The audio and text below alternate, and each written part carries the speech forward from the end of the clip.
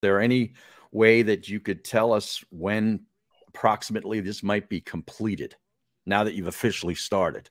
Yeah, there's a lot of a lot of phases to this project. It's uh, so this year we're we broke ground on the reservoir, and later this year we'll get started on the education center and the driving range building.